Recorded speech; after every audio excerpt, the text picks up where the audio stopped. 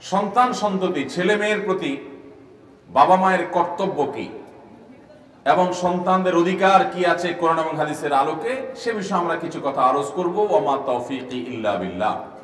মোহতারাম হাজরি, আল্লাহ রব্বুল আলমিন কোরআনে হাকিমে আমাদের প্রত্যেকটা মানুষকে আমাদের উপর অর্পিত দায়িত্বগুলো পালন করবার জন্য বারবার নির্দেশনা দিয়েছেন। এর মধ্যে আমাদের সবচেয়ে কাছের আমাদের রক্ত সম্পর্কীয় আত্মীয় আমাদের ব্লাড সম্পর্কীয় আত্মীয়ের মধ্যে আবার সবচেয়ে নিকটতম মানুষ হলেন মা বাবা এবং সন্তান সন্ততি। তাদের চাইতে আর কাছের কেউ হতে পারে না।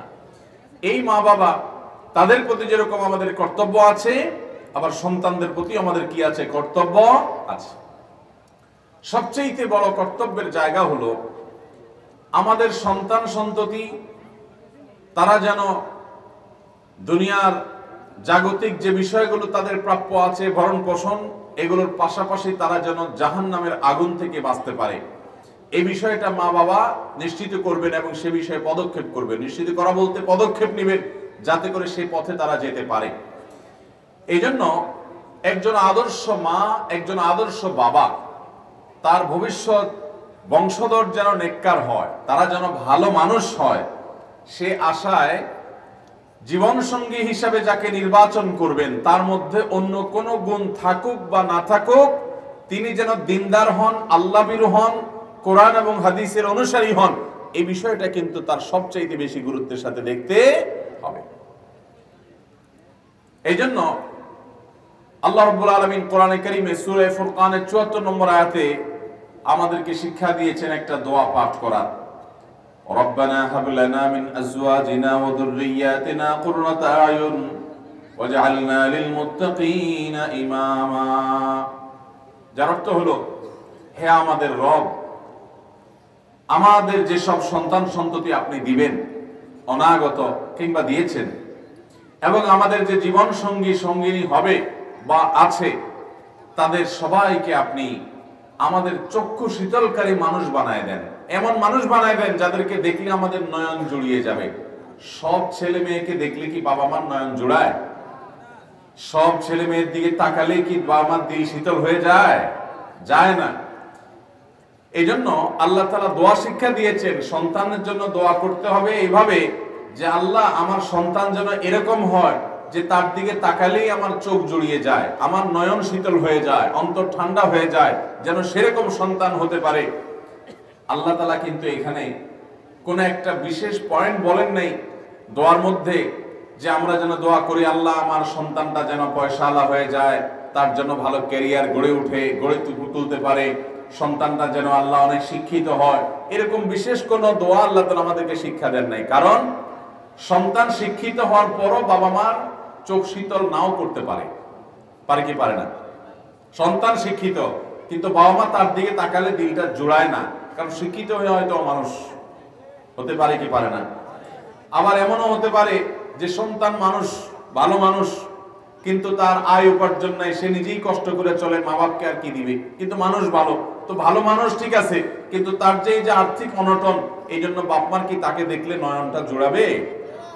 আবার দেখা গেল টাকা পয়সাও আছে, সন্তান মানুষও ভালো, কিন্তু দেখা গেল সে কোনো কারণে অসুস্থ বড় ধরনের রোগে আক্রান্ত সে।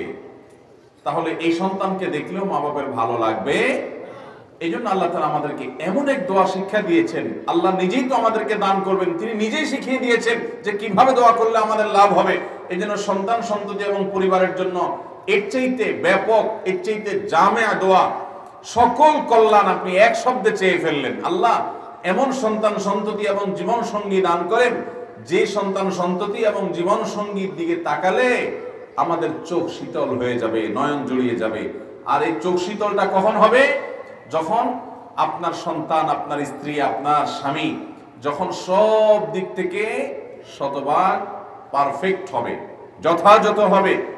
যেমন তার পয়সা করি তেমন তার আয় উপার্জন, তেমন তার সুস্থতা, তেমন সে ভালো মানুষ, তেমন তার অন্যান্য দিক, সব দিক থেকে যখন ভালো হবে, তার দিকে তাকালে আপনার ভালো লাগবে, নয়নটা জুড়াবে।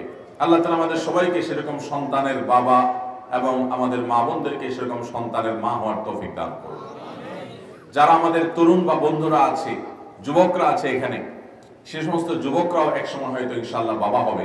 কিন্তু একজন মুসলমান তাকে সবসময় জানতে হবে যে আমার জীবনে আমার কাছে কার কি পাওনা আছে। মুসলমান সবসময় মানুষের পাওনা পরিশোধে সবচেয়ে বেশি সতর্ক থাকবে, সজাগ থাকবে যে কারোর পাওনা পরিশোধে যেন আমার কোনো ত্রুটি না আল্লাহ তালা আমাদের সবাইকে সব মানুষগুলোর অধিকার আদায় করে দুনিয়া থেকে যাওয়ার তৌফিক দান করুন। মোহতারাম হাজরিন, তো মা বাবা হিসাবে সন্তানের প্রতি আমাদের কর্তব্য হলো সন্তান যেন ভালো মানুষ হয়। সে আশায় জীবন সঙ্গী হিসাবে যাকে নির্বাচন করব, সেই লোকটা যেন আল্লাহ বীর হয়, ভালো মানুষ হয়, মুত্তাকি হয়, আল্লাহকে চিনে এরকম মানুষ যেন হয়। এটা কেন দেখব? কারণ তিনি যদি আল্লাহ বীর হন, আপনার স্ত্রী যদি আল্লাহ বীর হন, কোন মহিলা বিয়ে করার সময় যদি তার স্বামীটা, যাকে তিনি বিয়ে করবেন, যার সাথে তার বিয়ে হবে সেই পুরুষটা আল্লাহ বীর হন, এটা যদি নিশ্চিত করেন, তাহলে তার বংশে, তার পরিবারে ইনশা আল্লাহ এমন সন্তান হওয়ার সম্ভাবনা বেশি যাদের মধ্যে আল্লাহর ভয় আছে। এই জন্য আগে থেকে দোয়া করতে হবে। আল্লাহর অনেক নিকার বান্দারা এই দোয়াগুলোর উপরে আমল করে করে আগে থেকে আল্লাহর কাছ থেকে ফয়সালা করে নিয়েছে। মোহতারাম হাজরিন, আমাদের সন্তানরা যেন আল্লাহ ভীরু হয়, তারা যেন ইমানদার হয়, তারা যেন মুত্তাকি হয় এই কাজটা এই যুগে সবচাইতে কঠিন কাজগুলোর একটা। আপনি লক্ষ লক্ষ কোটি কোটি টাকার মালিক হয়ে যান, এটা এত কঠিন না। আল্লাহ আপনাকে সন্তান দিয়েছেন, কিন্তু সন্তানটা আল্লাহ বিরো মুত্তাকি, পরহেজগার, এটা যত কঠিন। কারণ গোটা পৃথিবীতে চতুর্দিকে আপনি তাকিয়ে দেখেন, ফেতনার হাতছানি। আপনার সন্তানের ইমান হরণ করবার জন্য শত শত আয়োজন। সে রাস্তা বের হলে সেখান থেকেই তার ফেতনা তাকে ডাকছে। সে শিক্ষা প্রতিষ্ঠানে যাচ্ছে, সেখানে বহুবিধ ফেতনার জাল বিছানো আছে। সে কর্মস্থলে যাচ্ছে, সেখানে তার ইমান হরণকারী বহুবিধ ফেতনা তার জন্য অপেক্ষা করছে। সে বিদেশে চলে যাবে, সেখানেও তার ইমান হরণ করবার মতো বহু ফিতনার জাল বিছানো আছে। শয়তান সদা তৎপর। এই সকল ফিতনার বেড়াজাল থেকে নিজের ইমানকে তাকুয়াকে বাঁচিয়ে রেখে সে ইমানদারের সন্তান ইমানদার হবে। এটা এই যুগের সবচেয়ে কঠিন কাজগুলোর একটা। আপনি আপনার সন্তানকে অনেক বড় শিক্ষিত বানাইতে পারবেন, এটা এত কঠিন না। আপনি আপনার সন্তানকে এমনকি গতানুগতিক আলেমও বানাইতে পারবেন, এটাও এত জটিল না। টাকা পয়সা হলে ভালো শিক্ষা প্রতিষ্ঠানে দিলে এটা হয়ে যাবে, কিন্তু তাকে মানুষের মতো মানুষ, মনুষ্যত্ব তার মধ্যে আছে আদব লেহাজ তার মধ্যে আছে তাকুয়া তার মধ্যে আছে ইমান তার মধ্যে আছে, দিনদারি তার মধ্যে আছে, পরহেজগারি তার মধ্যে আছে, এরকম মানুষ হিসেবে গড়ে তোলাটা কিন্তু সহজ কথা। এই জন্য আমাদের যে সমস্ত যুবক বন্ধুরা আছেন, যারা ভবিষ্যৎ বাবা হবেন, আমাদের যে সমস্ত বোনরা আছেন অবিবাহিত, যারা ভবিষ্যৎ মা হবেন, আশা করেন, স্বপ্ন দেখেন, সবাইকে লক্ষ্য রাখতে হবে। আমাদের সন্তানদের প্রতি আমাদের কর্তব্যের অংশ হলো যে এই সন্তানরা যেন নেককার হয়, ভালো মানুষ হয় এই জন্য আমাদের জীবন সঙ্গী হিসেবে এমন মানুষকে বাছাই করে নিতে হবে যে মানুষটার মধ্যে আল্লাহর ভয় আছে ইমান আছে তাকুয়া আছে। কারণ একজন মা যদি দিনদার হয়, সন্তানরা দিনদার হওয়ার সম্ভাবনা অনেক বেশি। আজকাল বিয়ে শাদিতে আমরা দেখি শুধুমাত্র চেহারা সুরত। আমরা দেখি শুধুমাত্র গায়ের রং, আমরা দেখি শুধুমাত্র বাবার টাকা পয়সা, আমরা দেখি শুধুমাত্র বাবার সামাজিক অবস্থান। অথচ নবী করিম সাল্লা সাল্লাম বলেছেন তুমকাহুল মারআতুলি আরবাইন একজন নারীকে সাধারণত চারটি বিষয় দেখে মানুষ বিয়ে করে। কেউ কেউ বিয়ে করে নারীর সম্পদ দেখে, তার বাবার সম্পদ দেখে পয়সা আলার মেয়ে দেখে।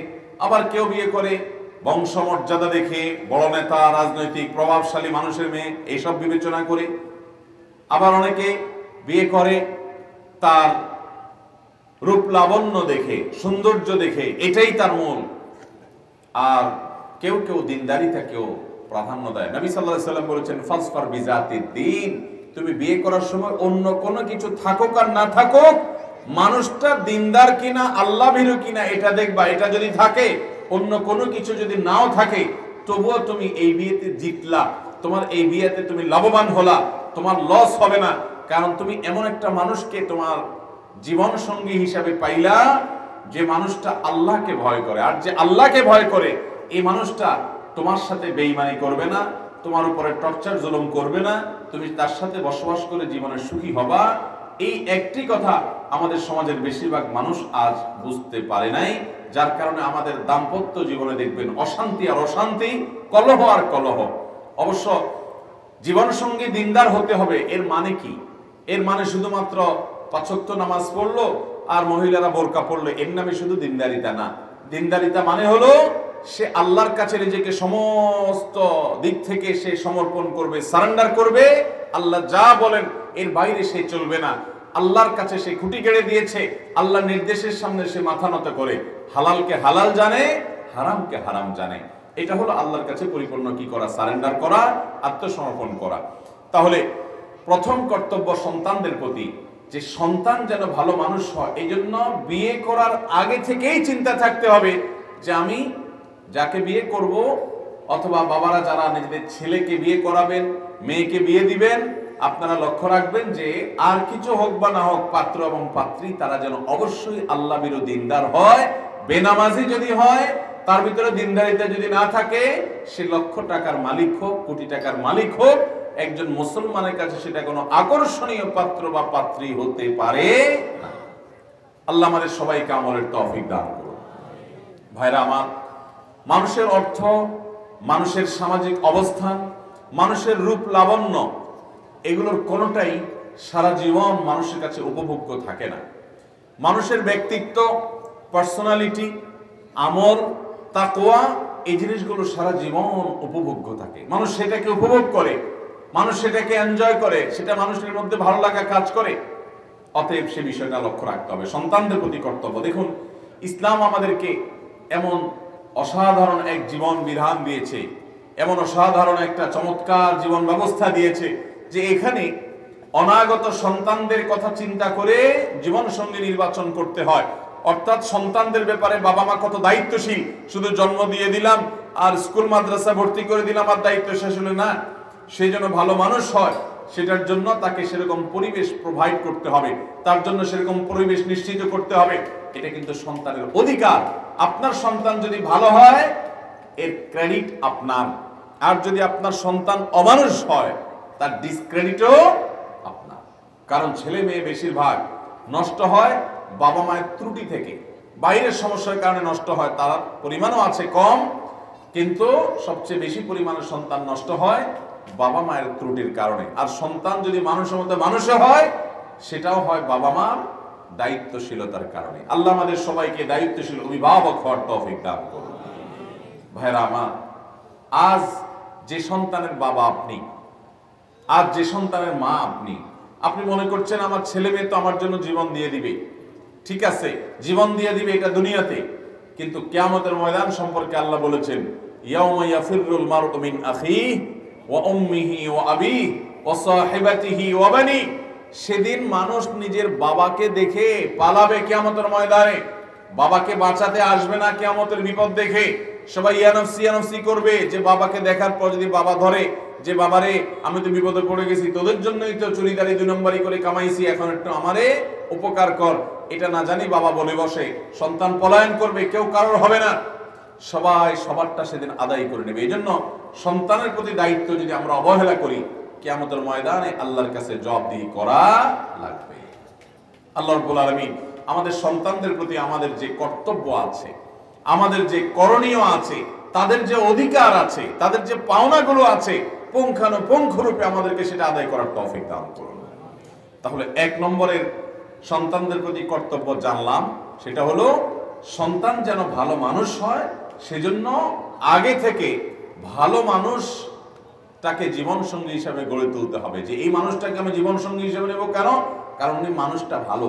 ভালো হলে তার সন্তানরাও আশা করা যায় ভালো হবে। নাম্বার দুই, সন্তান জন্মের সঙ্গে সঙ্গে নবী করিম সাল্লা সাল্লামের সুন্নত হলো এই সন্তানের জন্য আল্লাহ তালার কাছে দোয়া করবেন। কারণ মায়ের গর্ভে সে যতদিন ছিল শয়তান তাকে আক্রমণ করতে পারে নাই। যখনই সে ভূমিষ্ঠ হয়ে দুনিয়াতে চলে আসছে, তখনই শয়তানের খোঁচা শুরু হয়ে গেছে। সন্তান দুনিয়াতে আসার পর ভূমিষ্ঠ হওয়ার সঙ্গে সঙ্গে যে কান্নাকাটি শুরু করে। এই কান্নাকাটি শুরু করার নানা কারণ আছে, নানা যুক্তি আছে, নানা ব্যাখ্যা আছে। এর মধ্যে একটা ব্যাখ্যা এটাও যে নবী সাল্লাহ সাল্লামের কোন কোন হাদিস থেকে বোঝা যায় যে দুনিয়াতে সন্তান জন্মগ্রহণ করার সঙ্গে সঙ্গে শয়তান তাকে খোঁচা মারা শুরু করে। এবং সে কেঁদে উঠে। আল্লাহ তালা করণে বলেছেন, শয়তান যখন তোমাদেরকে খোঁচা মারবে, তোমাদেরকে ক্ষতিগ্রস্ত করার চেষ্টা করবে, তখন আল্লাহর কাছে পানা চাও, আশ্রয় চাও আল্লাহর কাছে আশ্রয় চাইলে এটা হলো মহৌষধের মতো, শয়তানের জন্য এটা অ্যাটম বোমের মতো কাজ করে। আল্লাহর কাছে আউজুবিল্লাহ পড়লে যখনই মনে হচ্ছে আমার মনে একটা বাজে চিন্তা আসছে, যখনই মনে হচ্ছে আমার নামাজ পড়তে মনে চাচ্ছে না, যখনই মনে হচ্ছে আল্লাহকে নিয়ে আমার মনে বাজে চিন্তা আসছে, শয়তান আমার মনের ভিতরে বাজে চিন্তা ঢুকাচ্ছে, ইমানদারের কাজ হলো সাথে সাথে সে শয়তানকে অ্যাটেম বোমা মারবে। কি বলে? আউযু বিল্লাহি মিনাশ শাইতানির রাজীম। এই দোয়া পড়লে শয়তান সাথে সাথে পরাভূত হয়। নবী করিম সাল্লাল্লাহু আলাইহি সাল্লাম তার নাতি হাসান এবং হোসেন রাদিয়াল্লাহু তাআলা আনহুমা, তাদের জন্মের পর নবী সাল্লাল্লাহু সাল্লাম তাদের জন্য একটা দোয়া করেছেন। যারা নানা আছেন, এটা তাদের কর্তব্য। যারা দাদা আছেন, এটা তাদের কর্তব্য। যারা বাবা হবেন, তাদের কর্তব্য। যারা মা হবেন, তাদের কর্তব্য। যে সন্তান জন্মগ্রহণ করার পর পর তারকে শয়তান থেকে পানা চেয়ে নেবেন ওই যে শয়তান তাকে জন্মের সঙ্গে সঙ্গে লেগে যায় এবং খোঁচাখোঁচি শুরু করে। তাকে ধ্বংস করা, তাকে জাহান্নামুখী করা, তাকে বিপদগামী করা, বিভ্রান্ত করা, তাকে ফাসেক বানানো ফাজের বানানো, খারাপ মানুষ বানানো, এটা শয়তানের বড় মিশন হয়ে যায়। শয়তানের একাধিক সদস্য অ্যাপয়েন্টেড হয়ে যায় নিয়োগ প্রাপ্ত হয়ে যায় ওই শিশুকে ধ্বংস করবার জন্য, নবজাতককে নষ্ট করবার জন্য। এই জন্য নবী আলাইহি সাল্লাম হাসান এবং হুসাইন রাদিয়াল্লাহু তাআলা আনহুমা তাদের জন্য তিনি জন্মের সঙ্গে সঙ্গে দোয়া করেছেন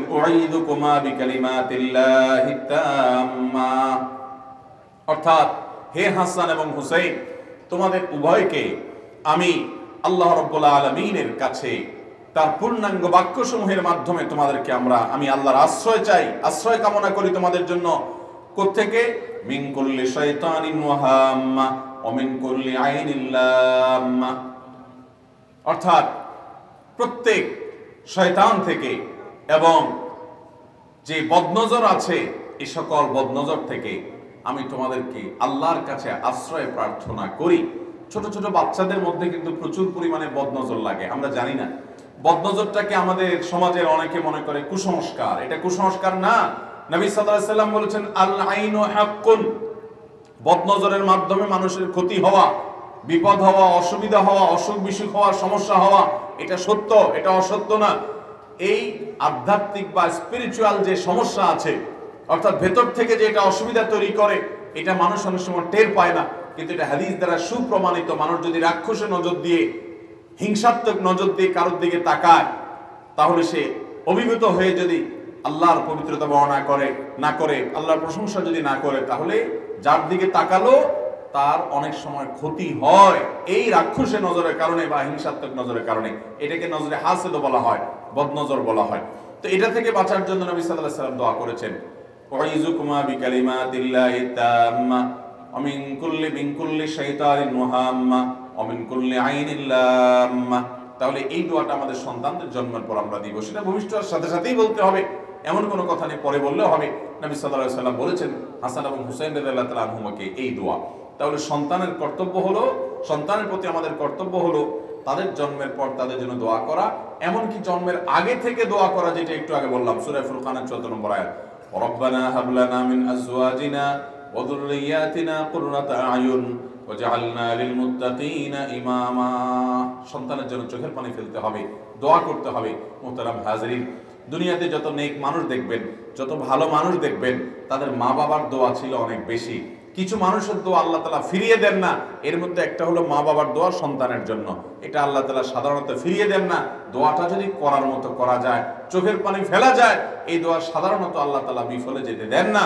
বিধায় সন্তানদের অধিকার, তাদের পাওনা, তাদের প্রতি আমাদের কর্তব্য করণীয় হলো যে আমাদের সন্তানদের জন্য আমরা আল্লাহর কাছে দিল খুলে দোয়া করব। আল্লাহ আমার সন্তানদেরকে মানুষ বানিয়ে দেন। ভারতবর্ষের একজন বড় মনীষী ছিলেন সৈয়দ আবুল হাসান আলী আন্নাদবী রহমতুল্লাহ আলাই সৈয়দ আবুল হাসান আলী আলী আন্নাদবী রহমতুল্লাহ আলাইহে, তিনি অনেক বই পুস্তক লিখেছেন। এর মধ্যে একটা বই তার আরবিতে লিখেছেন, মাজা খাসির আল আলম হেতাতিল মুসলিমিন। অর্থাৎ মুসলমানদের পতনের কারণে বিশ্বের কি ক্ষতি হলো? এই যে বই, এই বই গোটা পৃথিবীর বিশেষ করে আরব বিশ্বের ঘুম যা, ঘুম ভেঙে দিয়েছে অনেকটা। এবং এত সমাদৃত হয়েছে তার এই বই যে মুসলিম বিশ্বের সবচেয়ে বেশি বিকৃত বইগুলোর মধ্যে থেকে একটি, এবং সরকারিভাবে মিডিল ইস্টের বিভিন্ন দেশ থেকে এই বইয়ের হাজার হাজার লক্ষ লক্ষ কপি প্রিন্ট করা হয়। এই কালজয়ী গ্রন্থের রচয়িতা এবং কিং ফয়সাল অ্যাওয়ার্ড, যেটা মুসলিম বিশ্বের নোবেল খ্যাত, এটা যিনি পেয়েছেন সে আলী মিয়া নবী রহমতুল্লাহ আলাই মুসলিম বিশ্বের করে ভারতবর্ষের ইতিহাসের কয়েকজন বড় মনীষীর একজন ছিলেন। ওনার মা সম্পর্কে উনি একটা বই লিখেছেন, মেরি আম্মা। এটার বাংলা অনুবাদ হয়ে গেছে আমার আম্মা জান এরকম নামে। উনি সেই বই লিখেছেন যে আমি যখন ছোট ছিলাম, তো আমি দেখতাম আমার মা যায় নামাজে বসে দুই হাত তোলে চোখের পানি ফেলে। আয় আল্লাহ এক সে হাজারোं কি জরুরত পুরি ফরমা। অর্থাৎ আল্লাহ আমার এক আলী এই আলীরে দিয়া আপনি হাজার হাজার আলেমকে দিয়ে যে কাজ নেন হাজার হাজার দায়ীরা যে কাজ করেন, হাজার হাজার কর্মবীররা যে কাজ করতে পারেন, আমার এক আলী একা যেন সে কাজ করতে পারে, হাজার মানুষের আউটপুট যেন তার দ্বারা হয়, হাজার মানুষের অ্যাচিভমেন্ট যেন সে একা করতে পারে, আপনি সেই তৌফিক দান করেন। আলী মিয়ানাদ রহমতুল্লাহ বলেছেন, আমার মায়ের সে দোয়া আমি তখন শুনতাম এবং এর প্রভাব আমার মধ্যে পড়তো। আপনি আপনার সন্তানদের যদি ছোট থাকে তাদের জন্য যদি দোয়া করেন তারা দুনিয়া থেকে আসার আগে থেকে দোয়া করতে পারেন। যারা বিয়ে শাদী করেন এখন থেকে দোয়া শুরু করবেন যে, আল্লাহ, আমার, আমাকে আল্লাহ তালা আপনি কখনো বাবা বানাবেন, মা হওয়ার তৌফিক দিবেন। আমার সন্তান সন্ততি যারা হবে, এরা যেন আমাদের নয়ন জোড়ায় দেয়, এরা যেন আমাদের চক্ষু শীতল করে। এটা তাদের অধিকার যে, তাদের জন্য আপনি দোয়া করবেন। আল্লাহর কাছ থেকে তাদের জন্য আপনি নেক মানুষ হওয়াটা আদায় করে নেবেন। আজকাল বাপমা দোয়া করে, আমার ছেলে যেন এক নম্বর হয়। আমার ছেলে যেন ভালো কলেজে চান্স পায় স্কুলে চান্স পায়, মাদ্রাসা চান্স পায় মা বিদেশ যাইতে পারে টাকা পয়সা কামাই করতে পারে, ব্যবসার উন্নতি হয়, এগুলোর জন্য দোয়া করেন, দোষণীয় না। কিন্তু মনে রাখবেন, এর চাইতে বেশি আপনাকে দোয়া করতে হবে সন্তানটা যেন মানুষ হয়। কারণ ও যদি মানুষ না হয়, ওর টাকা আপনার লাভ হবে না। ওর বড় চেয়ার সে পাবে, আপনার লাভ হবে না। ও যদি মানুষ হয়, গরিব মানুষও যদি হয়, তারপরও তার সে মনুষ্যত্ব দ্বারা আপনি লাভবান হবেন ইনশা অতএব সন্তানদের প্রতি আমাদের দোয়া করার যে কর্তব্য আছে, এটা আমরা আদায় করব তো ইনশাআল্লাহ। বেশিরভাগ বাপ মারা এটা করেন না। শুক্রবার আসরের পরে দোয়া কবুল হয়। জায়নামাজে বসে দোয়া শুরু করে দেন। মসজিদে বসে ক্যাবলামুখী হয়ে চোখের পানি ফেলে দোয়া শুরু করেন। ছেলে মেয়েদের নাম ধরে ধরে, আল্লাহ, আমার অমুক ছেলেটাকে মানুষ করেন, অমুক ছেলেকে মানুষ করেন। তো আমার আব্বাজান রহমতুল্লাহ আলাইকে আমি দেখেছি যে তিনি দুই হাত তুলে চোখের পানি ফেলে আমাদের জন্য দোয়া করতেন। আমার মাকে আমরা দেখেছি ছোটবেলায় যে চোখের পানি ফেলে নামাজের পরে যায় নামাজে বসে, বিছানায় বসে, মুসল্লাতে বসে, লম্বা সময় দোয়া করতেন, আল্লাহ ছেলেটাকে মানুষ বানান, মেয়েটাকে মানুষ বানান। আলহামদুলিল্লাহ ভাইরা ভাইরা সবাই আলহামদুলিল্লাহ দিনদার হয়েছেন আল্লাহমুখী হয়েছেন, এলেম অর্জন করেছেন, হাফেজ আলেম বানাইছেন আল্লাহ তালা প্রায় সবাইকে, আলহামদুলিল্লাহ। বাবা মার দোয়া, এটা সাধারণত ফেরত যায় না যদি দোয়া করতে পারে। সবচেয়ে বড় লাভ কি জানেন? আপনার ছোট ছোট বাচ্চা যখন দেখবে যে আমার বাপ কাঁদছে বাচ্চা কিন্তু অবাক হয়ে যাবে, কি ব্যাপার, আব্বা কেন কাঁদছে? যখন দেখবে আব্বা কাঁদছে কোনো খানার অভাবে না, আব্বা কাঁদছে কোনো পেটে ব্যথার কারণে না, কেন কাঁদছে? আব্বা কাঁদছে, আমার নাম ধরে। কি বলছে? আল্লাহ আমার ছেলেটা ও যেন মানুষ হয়। আল্লাহ ও যেন নামাজি হয়। আল্লাহ ও যেন আল্লাহ ভীরু হয়। আল্লাহ ও যেন হারাম বাঁচতে পারে। আল্লাহ ও যেন হারামরে ত্যাগ করতে পারে। ও যেন আপনার সৎ ইমানদার বান্দা হতে পারে। ও যেন বড় আলেম হতে পারে। ও যেন বড় হাফেজ হতে পারে। ও যেন বড় দাইল আল্লাহ হতে পারে। আল্লাহ, ও যেন আপনার খাঁটি বান্দা হতে পারে। আল্লাহ, ও যেন কখনো হারামের দিকে না যায়। ও যেন বাবা মার অনুগত সন্তান হয়। এভাবে তার জন্য যখন আপনি দোয়া করতে থাকবেন, দোয়া করতে থাকবেন, এগুলো যখন বাচ্চা শুনবে, তখন বাচ্চার মধ্যে তার এফেক্ট পড়বে, তার প্রভাব পড়বে, বাচ্চা বুঝবে হায় রে আমি ভালো মানুষ হওয়ার জন্য আমার বাবা কাঁদছে, তাহলে তো আমাকে ভালো মানুষ হইতে হবে। তাহলে তো আমি খারাপ হইতে পারব না। এই প্রভাব বাচ্চার মধ্যে পড়বে। বাচ্চার মা যখন কাঁদবে, তার প্রভাব বাচ্চার মধ্যে পড়বে। এখন মার হাতে মোবাইল, বাপের হাতে আরেকটা মোবাইল। মা একটা ঠিকতেছে, বাপে আরেকটা ঠিকতেছে। কারোর হাতে রিমোট কারোর হাতে মোবাইল। এগুলা ব্যস্ততা আমাদের মা বাপকে এত এঙ্গেজ করে ফেলেছে যে সন্তানদের জন্য চোখের পানি ফেরানোর মতো সময় আজকাল মা বাপের হাতে। এবং তার ফলও আমরা দেখতে পাচ্ছি। যে আমাদের সন্তান আমাদের চক্ষু শীতলকারী সন্তান হচ্ছে, অতএব সন্তানদের প্রতি আমাদের এই কর্তব্য দোয়া করা, এটা আমরা আদায় করব তো ইনশাল্লাহ আমি আমার ছেলে মেয়েদের জন্য আল্লাহর কাছে যখনই বাইতুল্লাহ যাওয়ার তৌফিক হয়, হজের তৌফিক হয়, দোয়া কবুলের কিছু জায়গা আছে, সেজদায় দোয়া কবুল হয়।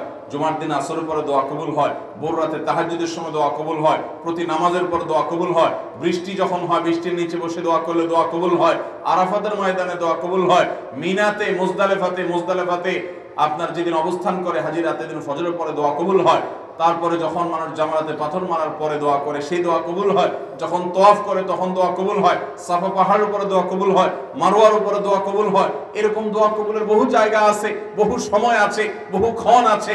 আজানের সময় দোয়া কবুল হয়। মুরগি ডাকের সময় দোয়া কবুলের কথা হাদিসে আছে।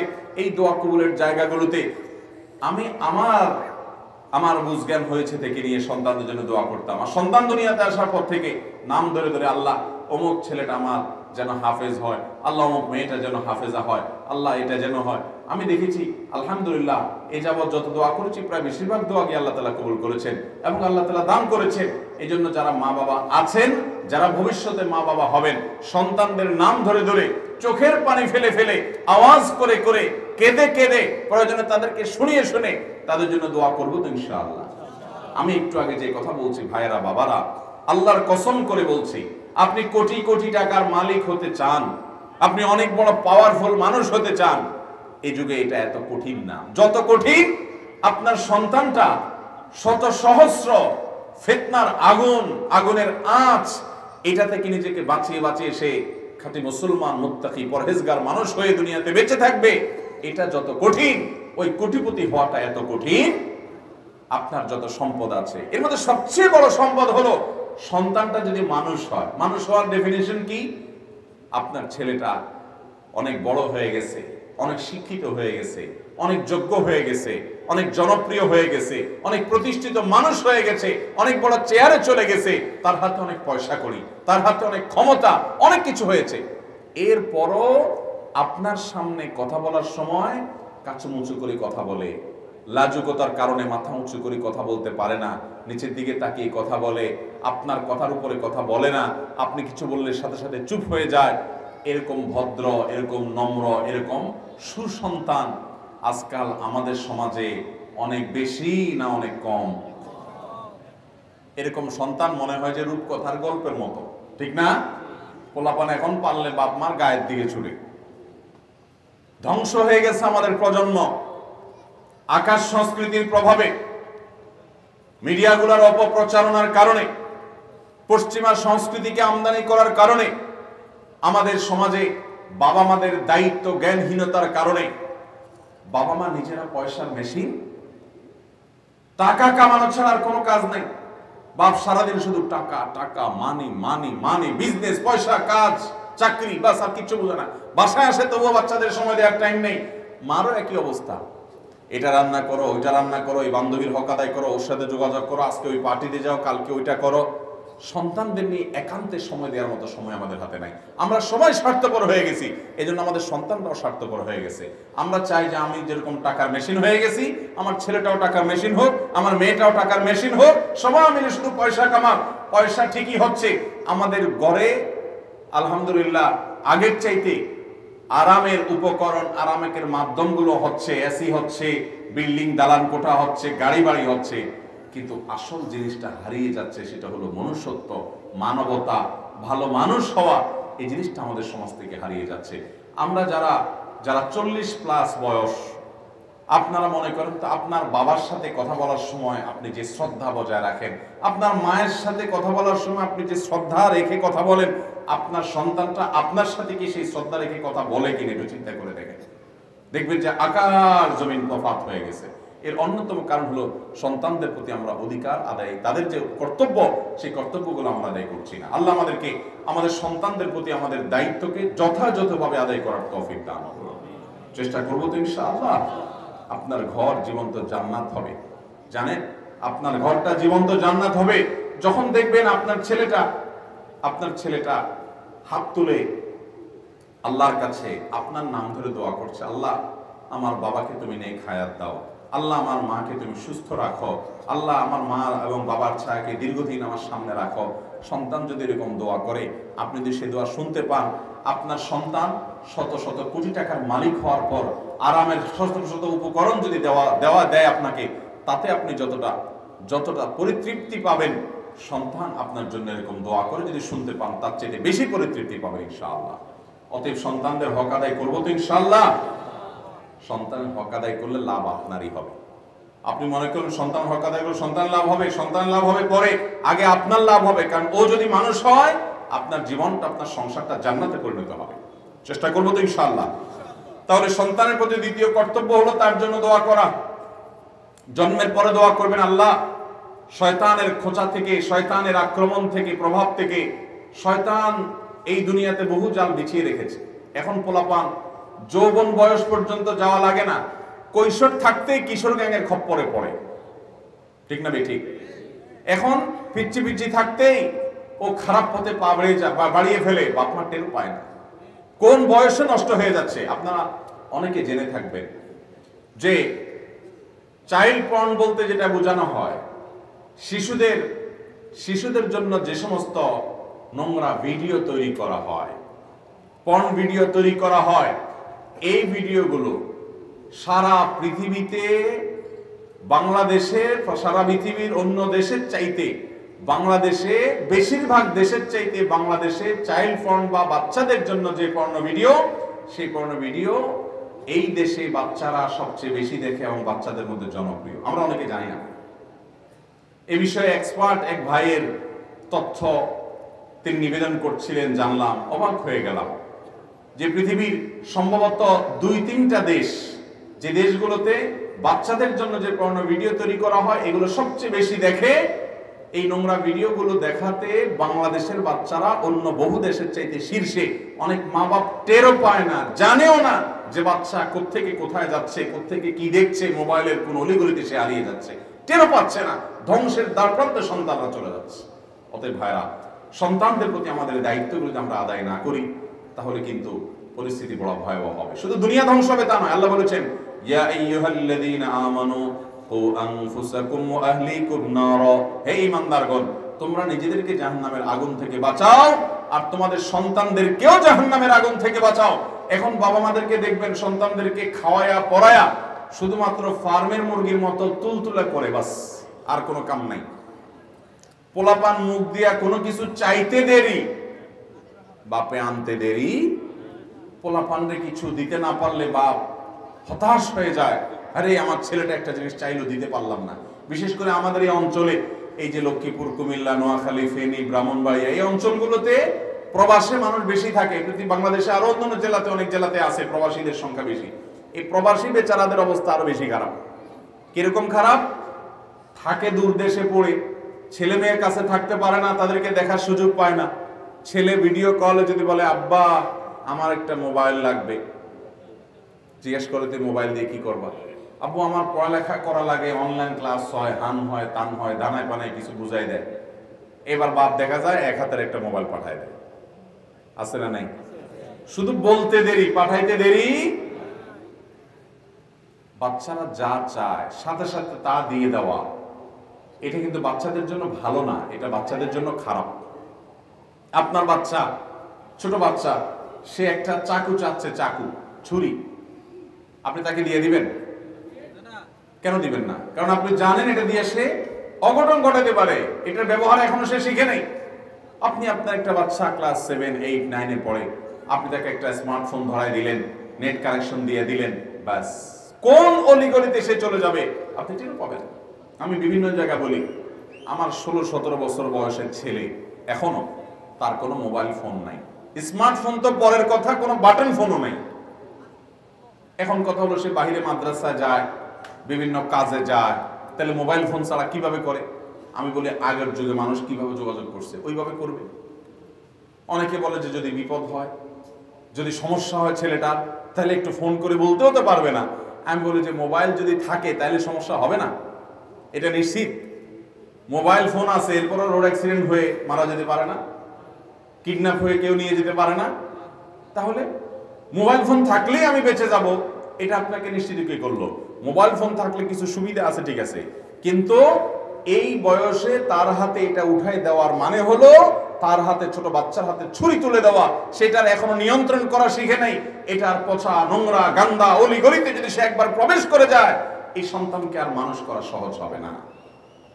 ভাইরা আমার, আমাদের সন্তানদেরকে মানুষ করার জন্য আমাদেরকে দায়িত্বশীল হতে হবে। বেশিরভাগ সন্তানদের অবস্থা বড় করুন ছেলে মেয়েদের চেহারার দিকে তাকালে বোঝা যায় যে এরা বাবা মার চক্ষু শীতলকারী সন্তান হতে পারে নাই। বাবা মার বোঝা হয়ে গেছে রীতিমতো। দোষ কিন্তু বাবা মারই। তারা সঠিকভাবে লালন পালন করতে পারে নাই। অতএব সন্তান কিছু চাইলেই দিয়ে দিবেন না, তার জন্য উপকার কিনা সেটা দেখবেন, বিবেচনা করবেন, নিয়ন্ত্রণ করতে শিখাবেন, সন্তানকে কষ্ট শিখাবেন। বেশিরভাগ পরিবারে কি হয় জানেন?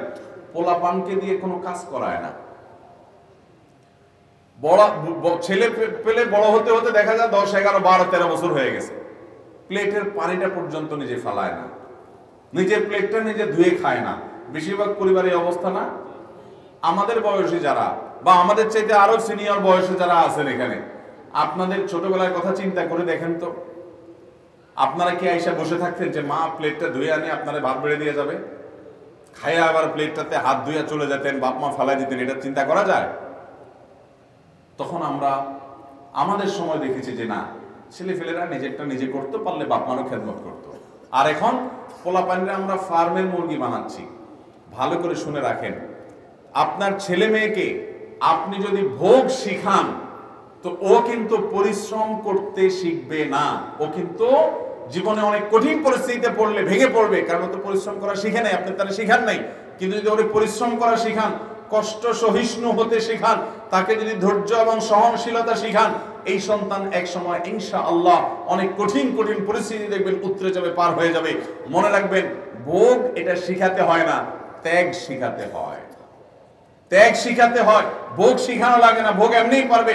এই জন্য সন্তানকে ভোগ নয়, তাকে ত্যাগ শিখাতে হবে। তাকে ছাড় দেওয়া শিখাতে হবে, তাকে কষ্ট করা শিখাতে হবে, তাকে ধৈর্য ধারণ করা শিখাতে হবে।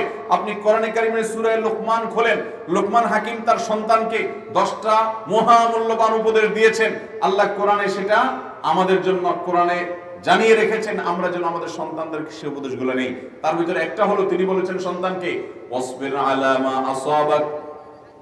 সন্তান, তার সন্তানকে তিনি বলেছেন, হে আমার বৎস, ইয়া বুনাই, হে আমার আদরের সন্তান। তুমি এই কাজ করবা, এর ভিতরে একটা কাজ হলো ওয়াসবির আলা মা আসাবাক। তোমার জীবনে যখন বিপদ আসবে, হতাশ হবা না, অস্থির হতে যাবা না, সবর করবে। অতএব সন্তানদেরকে আমরা ভালো মানুষ হিসেবে গড়ে তোলার চেষ্টা করব ইনশা আমরা সবাই চাই আমার ছেলে মেয়ে থাকুক দুধে বাতে। আপনার ছেলে মেয়ে দুধে বাতে থাকুক, এটা আপনি চান, অসুবিধা নাই। কিন্তু সন্তান দুধে বাতে থাকুক আর না থাকুক, কমপক্ষে আপনার চাওয়া হওয়া উচিত আমার সন্তান যেন থাকে নামাজে কালামে। আমার সন্তান যেন থাকে তেলাওয়াতে জিকিরে। আমার সন্তান যেন থাকে মসজিদে, দিনী প্রতিষ্ঠানে।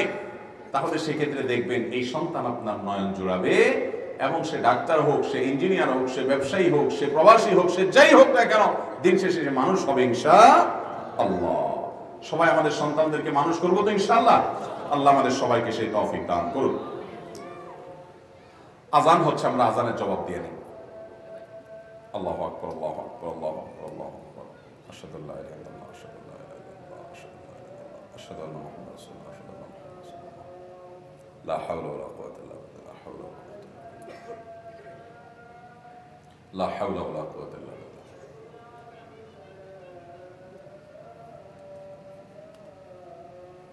لا حول ولا قوة إلا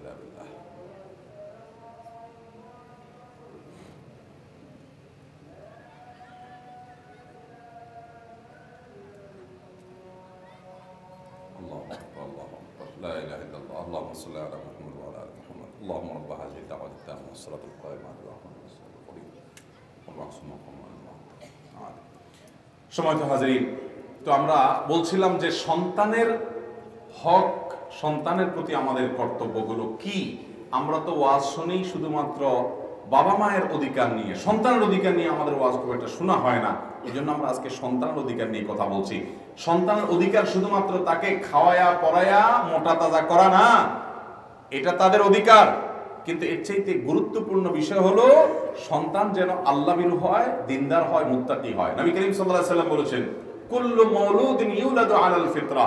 প্রতিটি বাচ্চা, প্রতিটি শিশু, প্রতিটি নবজাতক মায়ের গর্ভ থেকে দুনিয়াতে আসে, দিনদার হয়ে, ইমানদার হয়ে, মুত্তাকি পরহেজগার হয়ে, ভালো মানুষ হয়ে মায়ের পেট থেকে কেউ ডাকাত হয়ে আসে? চুরি করে, চুরি করা শিখে আসে? মিথ্যায় অভ্যস্ত হয়ে আসে? আসে না। মায়ের পেট থেকে সবাই আসে যে, ওই টাইমে সে পৃথিবীর সবচেয়ে ভালো মানুষ থাকে তার মনের ভিতরে কোনো নোংরামি নাই, হিংসা নাই, শত্রুতা নাই, বিদ্বেষ নাই বদভ্যাস নাই, কিচ্ছু নাই, সে ভালো মানুষ থাকে ইল্লা আন্না আবওয়াহু ইউহাউদানিহি আও ইউনাসসিরানিহি আও ইউমাজ্জিসানি। কিন্তু জন্মের পর ওই সন্তানের মা বাবা তারা তাকে হয় বেদিন বানায় অগ্নিপূজক বানায়, বিভ্রান্ত বানায়, কাফেরে, মুশ্রিকে পরিণত করে এবং ভুল পথে নিয়ে যায়। এটা মা বাপই করে। এই জন্য সন্তান যেন ভুল পথে না যায়, সেটা ঠিক রাখা, সেটা খেয়াল রাখা বাবা মার কর্তব্য। সন্তানের পেটে খাবার গেল কিনা চিন্তা করেন, কিন্তু সন্তান নামাজ পড়ছে কিনা তার চিন্তা আরও বেশি করে করেন। আজকাল দেখবেন মায়েদেরকে, বিশেষ করে মায়েদেরকে দেখবেন পিচ্ছি পিচ্ছি পোলাপানের পিছনে খাবারের বাটি নিয়ে দৌড়তে দৌড়তে দৌড়তে দৌড়তে বেচারিরা কাহিল। ঠিক না ঠিক? যেই পরিমাণ দোলান দোলায় বাচ্চাদের পিছনে মায়েরা বাটি নিয়ে, চামচ নিয়ে একটু খাওয়ানোর জন্য বাবা খা খা খা। বাবা খায় না, বাবা কয়, ঘুষ দাও আগে, মোবাইল দাও, তারপরে খাব। ঠিক না ঠিক আগে ঘুষ দাও, মোবাইল দাও। কার্টুন দাও, তারপরে খাব। তো মায়েরা দেখা যায় নিরুপায় হয়ে কি করবে? ছেলেকে তো খাওয়াইতে হবে, মেয়েকে খাওয়াইতে হবে। তো বাধ্য হয়ে তার কথায় রাজি হয়ে যায়, ঠিক আছে, মোবাইল চালাই দিছি, দেখা। তাহলে এই খায়া তোমার স্বাস্থ্য যতটুকু ভালো হবে, ওই মোবাইল দেখা ইমান, আমল, চোখ, ব্রেন, মেধা সব তার চাইতে বেশি নষ্ট হবে। লাভের চাইতে ক্ষতি বেশিরভাগ পরিবার এই কাম করে। আলহামদুলিল্লাহ। বাচ্চা আমারও আছে। আমি মোবাইল দেখাই না। আমার বাসায় বাচ্চাকে মোবাইল দেখানো হয় না। না খাইলে না খাই থাকো কিছু অসুবিধা নেই। কিন্তু তোমাকে মোবাইল দেখতে দেওয়া হবে না। কারণ খায়া তুমি যা উপকার করবা, খায়া তোমার যা লাভ হবে ওই মোবাইল দেখে তোমার চোখ, তোমার ব্রেন মেধা, ইমান, আমলের ক্ষতি তার চাইতে বেশি হবে।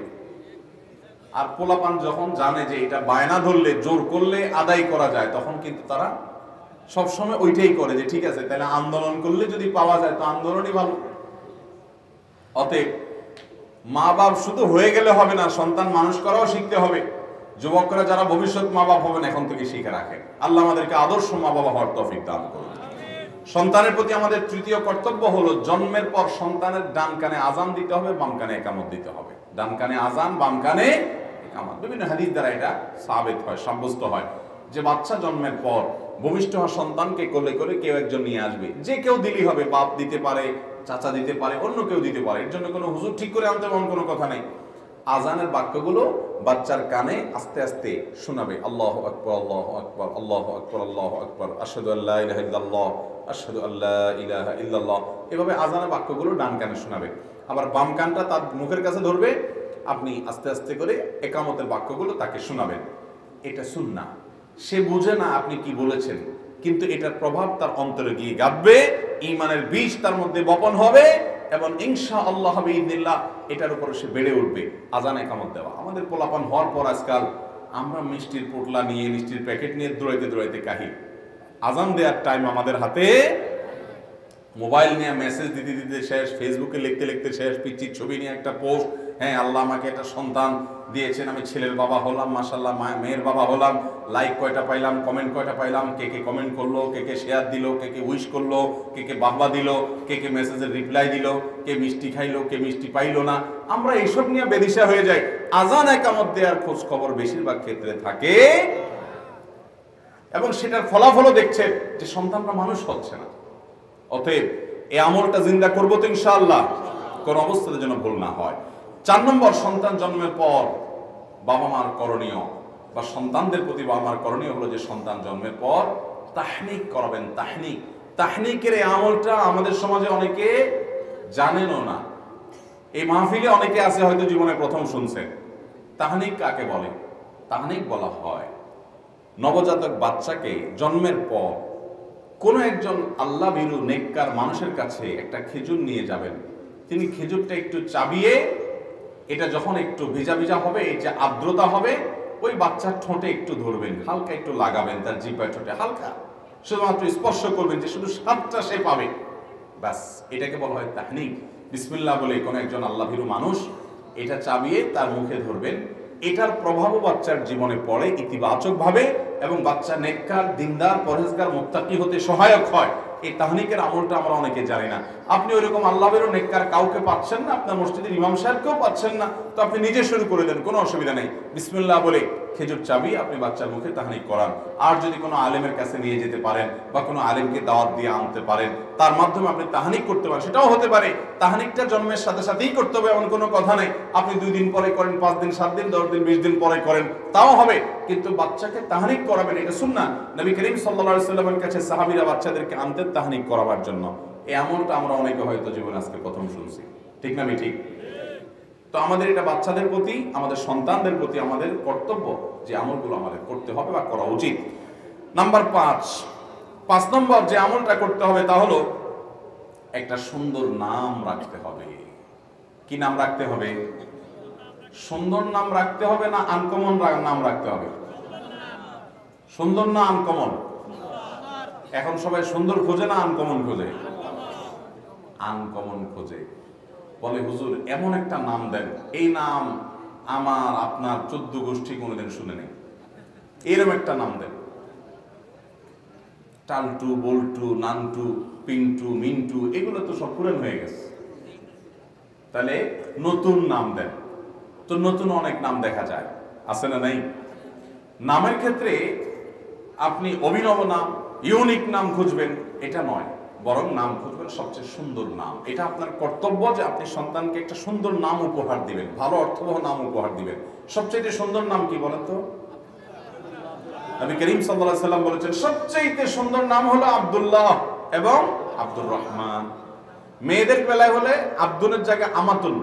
আব্দুল মানে গোলাম, আর আমাতুল মানে বান্দি। তাহলে সেক্ষেত্রে আল্লাহর বান্দা, আল্লাহর বান্দি। আব্দুল্লাহ মানে আল্লাহর বান্দা, আব্দুর রহমান মানে রহমানের বান্দা।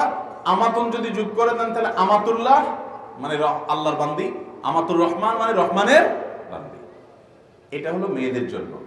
এরপর সবচেয়ে উত্তম নাম কোনটা?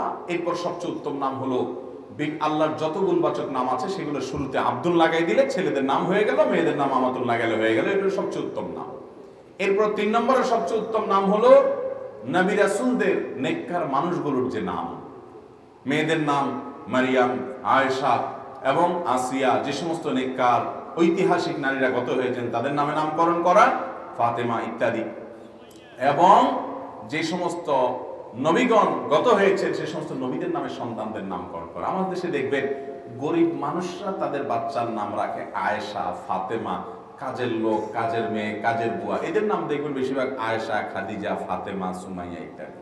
ঠিক না ঠিক আর নিজের মেয়েটার নাম রাখে মানুষ কি? লালটু না, লালটু তো পোলার নাম রাখে। মেয়েদের নাম কি রাখে? চৈতি। খাইতি, একটু খাইতি। হ্যাঁ? এগুলো কিন্তু এগুলো কিন্তু নাজায়েজ না, আবার বোঝেন না। বাংলা নাম রাখা কিন্তু গুনাহ না। কিন্তু নামের মধ্যে তার ধর্মের পরিচয় ফুটে উঠা চাই। এটা শুধুমাত্র আমাদের দেশের সংস্কৃতি নয়, এটা সারা পৃথিবীতেই। আপনি দেখবেন অমুসলিম দেশগুলোতেও তাদের নামের মধ্যে তাদের ধর্মীয় পরিচয় ফুটে উঠে কি উঠে না? আপনি ভারতে চলে যান, তাদের নামগুলোতে দেখলে বোঝা যায় এরা হিন্দু। বোঝা যায় কি যায় না? মুসলমানের সন্তান, তারা অতি আপডেট অতি আধুনিক হতে চায়। অতি আধুনিক হলে ইমান পর্যন্ত অনেক টিকানো সম্ভব হবে না। অতএব সন্তানদের নামের মধ্যে থাকবে ইসলামের বার্তা বহন করে এরকম নাম। নবীদের নাম, রাসুলদের নাম, সাহাবিদের নাম ইসলাম ইতিহাসের সোনালী যুগের স্বর্ণ মানবদের নাম, সাহাবিদের নাম তাবিদের নাম, এই নাম দিয়ে সন্তানের নাম রাখবেন। এখন যদি কেউ আমার কাছে আসে আর বলে, হুজুর, সন্তানের নাম দেওয়ার জন্য একটা নাম দেন। আমি বলি, আবদুল্লাহ রাখেন, ছেলে হয়েছে আবদুল্লাহ রাখেন। বলে, হুজুর, আবদুল্লাহ তো আমার খালাতো ভাইয়ের শালাতো ছেলের নাম। এটা কোনো কথা? আরে ভাই, আপনার আপন ভাইয়ের ছেলের নামও যদি আবদুল্লাহ হয়, তো আপনার ছেলের নাম আবদুল্লাহ হলে খুব বেশি অসুবিধা। অসুবিধা কি আমি জানি। অসুবিধা হলো আপনি বলবেন, হুজুর, আবদুল্লাহ বলে ডাক দিলে কে আসবে? এটা কোনো যুক্তি হইল? জীবনে এই দোনো আবদুল্লাহ সারা জীবন একসাথেই থাকবে? কয়দিন একসাথে থাকবে? আজকাল ভাইয়ের সাথে ভাইয়ের দেখা হয় না, চাচাতো ভাই তো অনেক পরের কথা। সবাই এনএফসি এনএফসি আপনা আপনার ধান্দায় ব্যস্ত। একটা যাবে কানাডা, একটা যাবে আমেরিকা, একটা যাবে ঢাকা, এক যাবে চিটাগাং। সবাই যার যার জায়গায় ব্যস্ত থাকবে। অতএব আবদুল্লাহ সবার নাম হওয়াতে তেমন কোনো অসুবিধা আর যদি আবদুল্লাহ হলে মানে নাম আপনার মনে হয় যে বেড়াজাল তৈরি হবে, তাহলে বাপের নাম সাথে যুক্ত করে দেন। নামের শেষে বাপের নামের অংশ লাগায় দেন। কথার কথা আপনার নাম হলো, আপনার নাম হলো কথার কথা আহমদ। তাহলে আবদুল্লাহ বিন আহমদ বানায় দেন।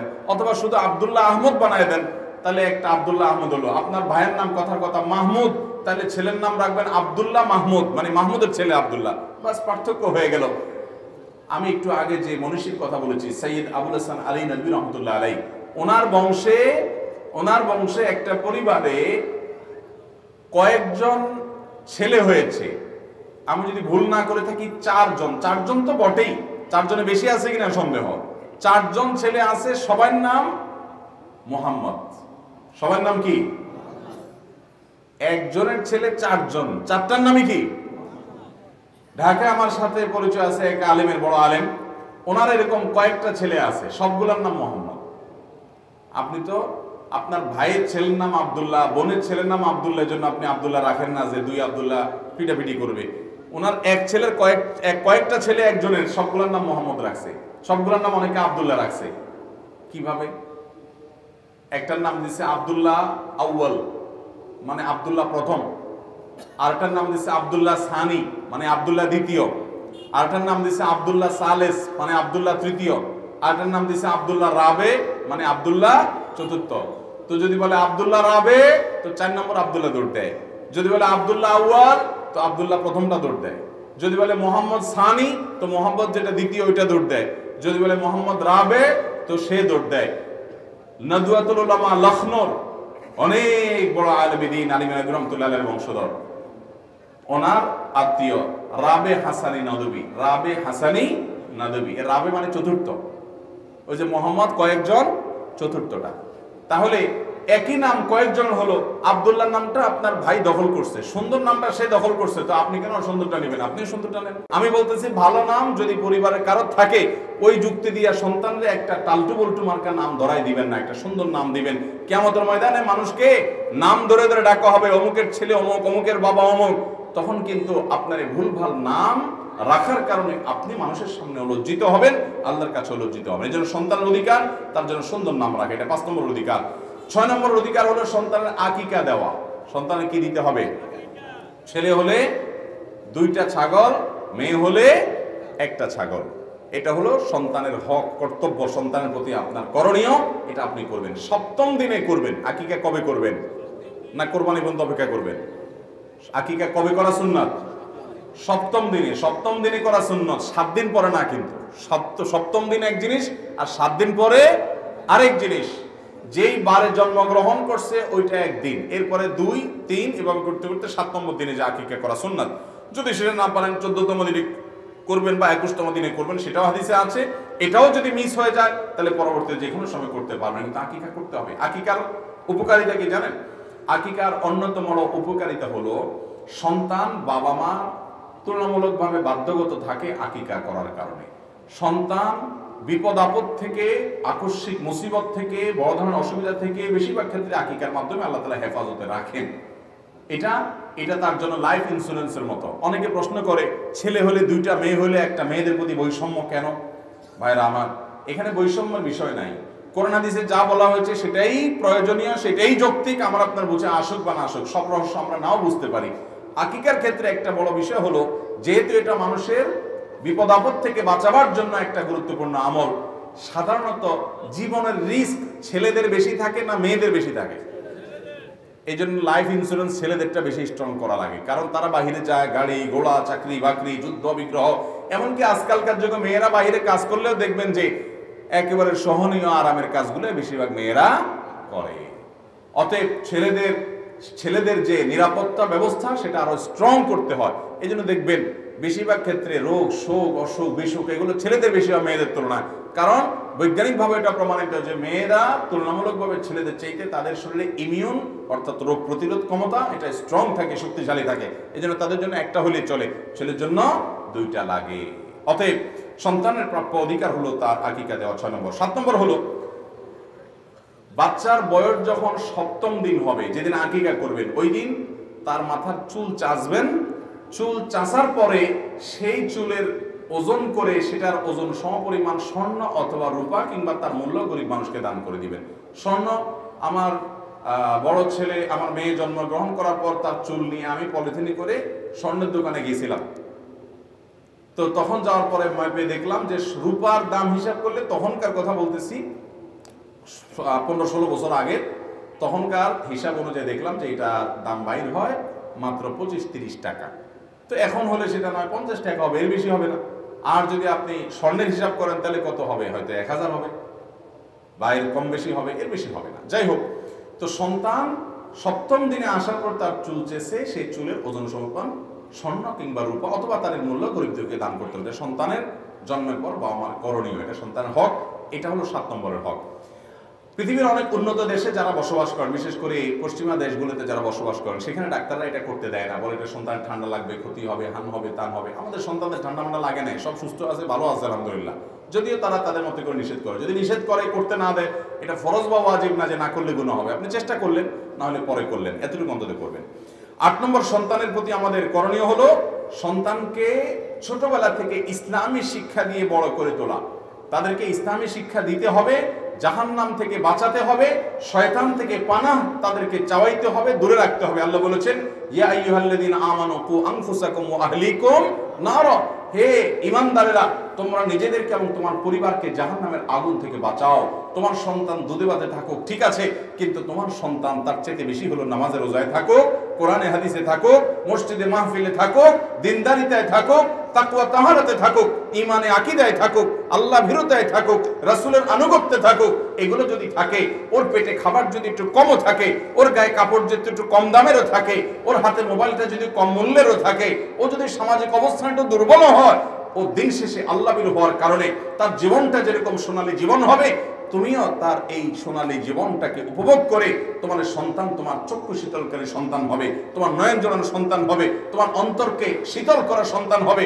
যদি সন্তানটা ভিতরে দিনদারিতে থাকে তাকুয়া থাকে, আল্লাহ বিরুদ্ধে থাকে, আল্লাহকে সে চিনে, কোরআনকে সে চিনে, হাদিস সে পাঠ করে, এগুলোকে সে আমল করে, আল্লাহর শপথ, সে সন্তান হবে আমাদের জীবনের সবচেয়ে শ্রেষ্ঠ সম্পদ। যত সম্পদ আমরা উপার্জন করেছি, সবচেয়ে মূল্যবান সম্পদ মনে হবে। এই সন্তানটা যারা আচরণ, যারা আমল, যার বিশ্বাস, যার কর্ম, যার দোয়া, যার জিকির, যার আল্লাহ ভীরুতা, যার আল্লাহ মুখিতা, যার আল্লাহর প্রতি আগ্রহ, যার আখেরাতের প্রতি বিশ্বাস, যার আখলা এবং সার্বিক বিশ্বাস হয়, আমাকে প্রচণ্ড প্রশান্ত করবে, অত্যন্ত সুখ দিবে, পরিতৃপ্ত করবে। এর চাইতে সুখী মানুষ আরেকটা হতে পারে অতএব আমাদের সন্তানদের পেটে খাবার যাক, সেটা আমরা চেষ্টা করব। আমাদের সন্তানরা সুখে থাকুক, ভালো থাকুক, আমরা চেষ্টা করব। কিন্তু তার চাইতে বেশি চেষ্টা করব, আমার সন্তানটা যেন অবশ্যই তার রবকে চিনে। যেই সন্তান তার রবকেই চিনে না, যে তার সৃষ্টিকর্তাকে চিনে না, সে তার জন্মদাতাকে কীভাবে চিনতে পারে? যে সৃষ্টিকর্তার প্রতি অকৃতজ্ঞ, সে জন্মদাতার প্রতি কীভাবে কৃতজ্ঞ হতে পারে? সেই গর্ভধারণকারী মায়ের প্রতি কীভাবে কৃতজ্ঞ হতে পারে? আপনার সন্তানকে তার সৃষ্টিকর্তার প্রতি কৃতজ্ঞ বানান। আপনার সন্তানকে তার রবের প্রতি আপনি কৃতজ্ঞ বানান। তাহলে এই সন্তান অন্তত আপনার প্রতি কৃতজ্ঞ হবে ঈশা বিভিন্ন বিভিন্ন রিপোর্ট দেখলে আমরা জানি আমাদের কাছে দিনের আলো মতো পরিষ্কার হয়, প্রস্ফুটিত হয় যে এই দেশে বেশিরভাগ বাবা মারা যারা সন্তানদের সবাইকে শিক্ষিত করেছেন, তারা দেখা যায় বার্ধক্যে নিঃসঙ্গ থাকতে হয়। সন্তানকে যদি শিক্ষিত করার পর আপনার বার্ধক্য নিঃসঙ্গে কাটাতে হয়, আপনাকে বৃদ্ধাশ্রমে যেতে হয়, আপনাকে একাকী থাকতে হয়, আপনার মনে কষ্ট নিয়ে আপনাকে জীবন কাটাতে হয়, তাহলে এই শিক্ষা শিক্ষা নয়। এই শিক্ষা যদি আপনি দিয়ে থাকেন, তাহলে আপনার প্রয়োজন ছিল এর পাশাপাশি তাকে ওহির শিক্ষা দেওয়া, কোরআনের শিক্ষা দেওয়া, হাদিসের শিক্ষা দেওয়া, আল্লাহ রাসুলের সাথে পরিচয় করানো, আল্লাহর সাথে পরিচয় করানো। যেই ছেলে তার রবকে চিনে, যেই ছেলে তার সৃষ্টিকর্তাকে চিনে, সে বাবা মাকে কখনো না চিনে পারে না। অতএব সন্তানদেরকে মানুষ করব তো ইনশাল্লাহ ঘরে ঘরে আজ, ঘরে ঘরে আজ বাবা মায়ের হাহাকার। অনেক বাবা মা হয়তো বলে, আর অনেকে মনের দুঃখের কথাটা বলে না। আমরা তাদের বিভিন্ন কথাবার্তা থেকে বোঝার চেষ্টা করি যে তারা বড় দুঃখে আছেন। তাদের বিল্ডিং দালান কোঠার কোনো অভাব নাই, গাড়ি বাড়ির অভাব নাই, ব্যাংক ব্যালেন্সের অভাব নাই, জমি জমার অভাব নাই, টাকা পয়সার অভাব নাই, ক্যাপিটালের অভাব নাই। ব্যবসা প্রতিষ্ঠানের অভাব নাই, সামাজিক অবস্থানের অভাব নাই। অভাব হলো তাদের সন্তানগুলো, তাদের নয়ন জড়ানো সন্তান নয়। সন্তান তার সাথে বেয়াদবি করে, সন্তান তার সামনে তর্ক করে, সন্তান তার প্রতি দায়িত্বশীলতার পরিচয় দেয় না। সন্তান তাকে রেখে দূরে থাকে। সন্তান তার কষ্টের কারণ হয়, সন্তান তার দুঃখের কারণ হয়, সন্তান তার মনকে প্রশান্ত করে না, পরিতৃপ্ত করে না। আপনি যদি সন্তান আপনাকে পরিতৃপ্ত করুক আপনার সুখের কারণ হোক, আপনার নয়ন জড়ানো সন্তান হোক, সেটা চান, তাহলে সন্তানের প্রতি আপনার যে করণীয়গুলো আছে, জন্ম তো বটেই জন্মের আগে থেকে তার জন্য একজন ভালো মা, তার জন্য একজন ভালো বাবা নির্বাচন করে, তার জন্য দোয়া করে, তার জন্মের পর তাকে সুসন্তান করার জন্য দিনই শিক্ষা দিয়ে তাকে মানুষের মতো মানুষ হিসাবে গড়ে তোলেন। আল্লাহ শপথ করে বলছি, টাকা পয়সার অভাব থাকতে পারে, এই সন্তান যদি আপনার ঘরে থাকে, আপনার চাইতে সুখী আর কেউ হতে পারবে? আল্লাহ তালা আমাদের সবাইকে পারিবারিকভাবে আমাদের সন্তান সন্ততিদেরকে মানুষ করে সুখী হওয়ার তফিক দান করুন। চেষ্টা করব তো ইনশাল্লাহ তাহলে আট নম্বরের কর্তব্য সন্তানের প্রতি তাদেরকে দিনই শিক্ষা দেওয়া। ছোটবেলায় তাদেরকে কোরআন শিক্ষা দিবেন, কোরআন বুঝে পড়ার গুরুত্ব বুঝাবেন। বাসায় প্রতিদিন একটা সময় মোবাইল ফোনগুলো সবগুলো দূরে ফেলে দিয়ে বন্ধ করে রেখে সাইলেন্ট করে রেখে পরিবারের সমস্ত সদস্যদেরকে সাথে নিয়ে তালিম করবেন, তালিম। কোরআনের আয়াত, তাফসির, হাদিস, হাদিসের ব্যাখ্যা ওলামায়ে ক্রামের লিখিত বিভিন্ন জীবন পরিবর্তনকারী বই, এগুলো পড়বেন এক পৃষ্ঠা, তাদেরকে দিয়ে পড়াবেন, নিজে পড়বেন, এরপর পর্যালোচনা করবেন এবং বই পুস্তক পড়ার কম্পিটিশন বাসার মধ্যে করবেন। করোনা যখন ছিল, আমি প্রতিদিন আমার বাসায় কাজটা করেছি। এরপর আর সময় পাই না, কিন্তু তারপরেও চেষ্টা করি হাহুতাস করি, অস্থির হই যে সন্তানদেরকে বাসায় প্রতিদিন একটা শিক্ষার আসর, জ্ঞানের আসর বসাতে হবে। শুধুমাত্র এই হুজুরের কাছে দিয়ে দিলেন, আর আলিফ বাতাসা পড়ল, কোরআন রিডিং পড়ে দিল দায়িত্ব খালাস হলো। এত সহজ নয়। আপনি নিজের সন্তানকে নিয়ে বসবেন, ইমান নিয়ে আলোচনা করবেন, আমল নিয়ে আলোচনা করবেন কোরআনিস নিয়ে আলোচনা করবেন, কোন আলেমের বক্তব্য, ছেলে মেয়েরা সবাইকে নিয়ে বসে শুনবেন ওলামাইকরার সাথে সম্পর্ক রাখবেন, তাদেরকে দাওয়াত দিবেন। আপনার সন্তান দেখবেন কীরকম মানুষ হয়। সবাই ছেলে মেয়েকে নিয়ে পেরেশান, আপনাকে পেরেশান থাকতে হবে না ইনশা আল্লাহ মোহতারাম হাজরিন। তাহলে সন্তানদেরকে আট নম্বর তাদের অধিকার হলো, তাদেরকে দিনই শিক্ষা দিতে হবে, দিনই মেজাজ দিয়ে গড়ে তুলতে হবে। নবী আলাইহি সাল্লাম বলেছেন, মুরু ওয়াদরিবুহুম ইযা বালাগু আশরা। তোমাদের সন্তানদের বয়স যখন সাত হয়, তখন সন্তানদেরকে নামাজের নির্দেশ করো। যখন বয়স দশ হয়, নামাজ না পড়লে শাসন করো, মৃদু প্রহার করো। কারণ, নামাজ থেকে অন্যায় অশ্লীল কাজ থেকে বিরত রাখবে বিধায় সে অভ্যাসটাকে গড়ে তোলো। নবী সাল্লাল্লাহু আলাইহি সাল্লামের একটা হাদিস থেকে আমরা জানতে পারি। তিনি বলেছেন লা ইউআদিবার রাজুলু ওয়ালাদাহু খায়রুম মিন আন ইয়াতাসাদদাকা বিসা আল্লাহর রাস্তায় কোনো খাবার দান করলেন আপনি অনেক পরিমাণে। এটার চাইতে উত্তম হলো আপনার সন্তানকে আপনি আদব শিখান, শিষ্টাচার শিখান। আমি আগেই বলেছি, আজকাল বাপমারা ছেলে মেয়েকে জন্মের পর থেকে মারতে থাকে, প্রেসার দিতে থাকে, চাপ দিতে থাকে, পড় এবিসিডি পড় ও আ, ক, খ, পড় আলিফ বাতাসা ঠিক আছে, এগুলো পড়ান। কিন্তু তার আগে তাকে শিখান আমাদের রবকে আল্লাহ, আমাদের সৃষ্টিকর্তাকে আল্লাহ, আমাদের রাসূলকে মুহাম্মদ আলাইহি সাল্লাম আমাদের আল্লাহ কি বলেছেন? তাকে শিখান। এই শিক্ষা তাকে দেন। এই দিনী শিক্ষা তার প্রাপ্য, তার অধিকার। সন্তানকে যদি দিনী শিক্ষায় গাফলতি করেন, এই সন্তান কিয়ামতের ময়দানে বলবে, আল্লাহ, আমি যে নষ্ট হয়েছি, আমি দোষী, স্বীকার করি, কিন্তু আমারে বাপ, আমারে মা এবিসিডি শেখানোর জন্য বহুত মারছে। স্কুলে যায়নি সেজন্য বহু প্রেশার দিছে। মসজিদে যাওয়ার জন্য কখনো প্রেশার দেয় নাই। আমাকে কখনো দিনদারিতার জন্য জোর দেয় নাই। এই সন্তান আপনার বিরুদ্ধে আল্লাহর কাছে নালিশ করবে। আল্লাহর আদালতে আপনাকে আসামি করবে এই সন্তান। সে বাদী হবে আপনার বিরুদ্ধে, যদি আপনি তার হক আদায় না করেন। সন্তান হক আদায় করব তো ইনশাআল্লাহ। নয় নম্বর সন্তানের অধিকার হলো তার জন্য ভরণ পোষণ দিবেন খরচ খরচা করবেন। এটা আলহামদুলিল্লাহ আজকাল সব বাবা মারা দরকার যা তা করে, দরকার ছাড়াও করে। হালালটাও করে, পারলে চুরি করে আয় না হারাম দিয়েও পোলাপানরে খাওয়ায়। এটা দরকার চাইতে আরও বেশি আছে। তবে এরপরও আমাদের সমাজে কিছু অমানুষ বাপমা আছে। যে অমানুষ বাপ মা সন্তান জন্ম দেওয়ার পর আর কোনো খোঁজ খবর নেয় না। ভরণ নাই, পোষণ নাই খোঁজ খবর নাই। বিশেষ করে যারা অনেকে আছে, দেখা যায় যে এই সংসার বাদ দিয়ে আর সংসার নিয়ে সে মজমস্তি করছে, বলে বসে আছে, কোনো খোঁজ খবর নাই। এরকম অমানুষ আছে কেমতের ময়দানে এই বাপ মাদের বিচার হবে, সন্তানের হক নষ্ট করার কারণে। কারণ সন্তানের পাওনা অধিকার যে তাদের ভরণ পোষণ দিতে হবে, তাদেরকে আদর দিতে হবে, তাদের সোহাগ দিতে হবে, তাদের স্নেহ দিতে হবে, মমতা দিতে হবে, ভালোবাসা দিতে হবে। এটা যদি না দেন, আপনি আপনার স্বার্থে নিয়ে শুধুমাত্র পড়ে আছেন, জন্ম দিয়ে ছেড়ে দিয়েছেন, আল্লাহর কাছে আপনাকে জবাবদিহি করতে হবে। নাম্বার দশ, সন্তানদেরকে উপযুক্ত হলে বিবাহ দিবেন, দেরি করবেন, তথাকথিত পায়ে দাঁড়ানোর অজুহাত দিয়ে যুবক পোলাপানকে বুড়া বানায় ফেলবেন তিরিশ বত্রিশ বছর বয়স বানায় ফেলবেন, বিয়ে দিবেন না। পোলাপান ফেতনার মধ্যে হাবুডুবু খাবে। আর আপনারা বিয়ে দিবেন না, বলবেন না, আগে বাড়ি কর, জমি কর, বিদেশ কর, টাকা কর, পয়সা কর।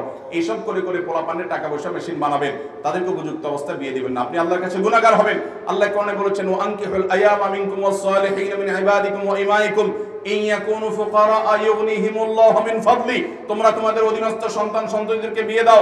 তারা যদি অভাবী হয় টাকা পয়সার টানাটানি থাকে, আল্লাহ ওয়াদা করেছেন তারা যদি গরিব হয়, বিয়ে করার মাধ্যমে আল্লাহ তালা তাদেরকে ধনী করে দিবেন। অতএব সন্তানদের কিন্তু এটা অধিকার অধিকার তাদের পাওনা। নবী সাল্লাল্লাহু সাল্লাম বলেছেন, তোমাদের সন্তানরা যখন বিয়ের উপযুক্ত হয়, উপযুক্ত পাত্র পাত্রী পেলে খবর দ্বারা দেরি করবা না। যদি দেরি করো, তাহলে এই জমিনে ফিতনা, ফাসাদ সৃষ্টি হবে। আপনার বিলম্বে ছেলেকে, মেয়েকে বিয়ে দেওয়ার কারণে এই ছেলে মেয়ে যত আকাম কুকাম করবে, যত জেনা করবে, যত পাপাচার করবে, যত অপরাধ করবে, এর দায় আপনাকে বহন করতে হবে। এর কারণে আপনারও গুণা হবে। অনেক বাপ মা এটা বুঝেন না। আজকাল চতুর্দিকে ফেতনা। অনেক মুরব্বীরা জানেন না ফেতনার কি অবস্থা। ফেসবুকে ইউটিউবে পোলাপান বাঁচতে পারে না। বাঁচাতে হলে বিয়ের কোনো বিকল্প নাই। অতএব তাদেরকে উপযুক্ত হলে দ্রুততার সাথে বিয়ে দিবেন। অনেক বাপ মা বলে, আগে আগে বিয়ে দিলে মহাব্বতটা ভাগ হয়ে যাবে। যতদিন আমার রাখতে পারি ততদিন ভালো। এটা হলো বোকামি এবং এটা হলো স্বার্থপরতার কথা। সন্তানকে যদি আপনি যে মনুষ্যত্ব শিখান সেই সন্তান কখনো আপনাকে বলবে আর যদি মনুষ্যত্ব না শিখান, বিয়ে আজকে দেন আর দুই দিন পরে দেন, আপনাকে বলতে সে বাধ্য, সে হয়তো স্মরণ রাখবে না। এগারো নম্বর এবং সর্বশেষ, সন্তানদের পাওনা অধিকার হলো তাদের প্রতি সমতা বজায় রাখতে হবে। সমতা বজায় রাখতে হবে। আদর একজনকে একটু বেশি, আরেকজনের দিকে একটু কম হইতে পারে, এটা ভিন্ন বিষয়। কিন্তু সম্পদ দেওয়ার ক্ষেত্রে, জমি জমা দেওয়ার ক্ষেত্রে, টাকা পয়সা দেওয়ার ক্ষেত্রে, এগুলো দেওয়ার ক্ষেত্রে সমতা বজায় রাখতে হবে। আপনি এক সন্তানের নামে জমি লিখে দিছেন, আরেকজনকে দিলেন না একজনকে অনেক টাকা পয়সা দিয়ে দিছেন, আরেকজনকে বঞ্চিত করে দিছেন, এটা কিন্তু জায়েজ নাই। নবী করিম সাল্লাল্লাহু সাল্লাম এক সাহাবী, তার এক সন্তানকে কিছু সম্পদ দিয়ে এসে বলছেন, ইয়া রাসূলুল্লাহ, আমার অমুক সম্পদ, সন্তানকে এই সম্পদ দিয়ে দিছি। নবী সাল্লাল্লাহু সাল্লাম তখন বলেছেন, তোমার তো আরও সন্তান আছে, তাদেরকে দিয়েছ? বলে না, দেই নাই। তখন তিনি বলেছেন, দেখো, ইত্তাকুল্লাহ। তোমরা আল্লাহকে ভয় করো এবং সন্তানদেরকে দেওয়ার ক্ষেত্রে সমতা বজায় রাখো, ইনসাফ করো। অনেক বাবা মা আছেন যে দুই চোখে দুই সন্তানকে দেখে। একজনকে দিতেই থাকে, আরেকজনকে দেওয়ার কোনো খোঁজ খবর নাই। একটা ছেলে লাখ লাখ টাকা কামায়, কোটি কোটি টাকা কামা- কামায়, তারপরও মা বলে কি? বলে যে, ওর তো আসলে কিছু নাই। ও গরিব মানুষ। আছে না নাই? অতএব সন্তানদেরকে দুই চোখে দেখা, এটা কিন্তু গুনাহের কথা। বাবা মারা আপনাদেরও বিচার হবে। সন্তানদের প্রতি যদি বৈষম্য করেন, জুলুম যদি করেন, একজনকে দিন আরেকজনকে দিলেন না। অনেক সময় বাপ মা বলে কি, এই ছেলেটা আমার দিকে খেয়াল রাখে, এই জন্য ওর সব জমি জমা দিয়ে দিলাম। ও খেয়াল রাখে না, সেজন্য দিলাম না। জায়েজ নাই এটা আপনার জন্য। আপনার খেয়াল রাখার বিনিময়ে সে আপনার জন্য খরচ করছে, আপনি সেই খরচের টাকাটা দিয়ে দিয়েছেন। এটা ঠিক আছে। যে আপনার চিকিৎসায় দুই লাখ খরচ হয়েছে, দুই লাখ দিয়ে দিলেন, দুই লাখের জমি দিয়ে দিলেন যে, বাবা, তুই খরচ করছস, এই জমি সে বাবদ নিয়ে যায় এটা আপনি দিতে পারেন। কিন্তু আপনাকে সে আদর যত্ন বেশি করে জন্য সব দিয়ে দিলেন আর জন করে না তাকে দিলেন এটা করতে পারবেন না। আপনার সন্তান হওয়ার সাথে সাথে তার প্রাপ্য অধিকার হয়ে গেছে। আল্লাহ তাআলা বলেছেন আবা উকুম আবনা উকুম লা আইয়ুহুম আকরাবু লাকুম নাফআ। তোমাদের বাবা মা, তোমাদের সন্তানরা কে বেশি উপকারে আসবে তোমরা জানো না? অতএব আল্লাহ যাকে যা দিতে বলেছে তা দিয়ে দাও, তোমার বুঝে আসুক আর না আসুক। এই জন্য সন্তানদেরকে সম্পদ দেওয়ার ক্ষেত্রে বৈষম্য করা যাবে মেয়েদেরকে ডেকে এনে বলবেন, তোমাদেরকে বিয়ে শাদী দিছি টাকা পয়সা খরচ করছি। এখন তোমাদের তো আলহামদুলিল্লাহ জামাইরা টাকা পয়সা কামাই করে, অনেক আছে। থাক, তোমরা আর দাবি দাবা করিও না, এগুলো তোমাদের ভাইদের জন্য ছেড়ে দাও।